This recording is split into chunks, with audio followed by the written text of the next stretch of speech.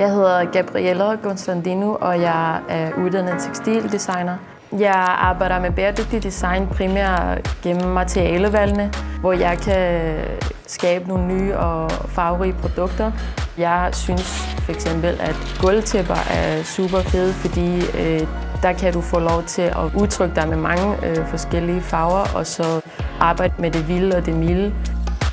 Jeg brænder for at designe produkter, der er farverige og eksplosive, og jeg synes, det er super fedt at prøve nogle utraditionelle materialer af og se, hvordan de fungerer.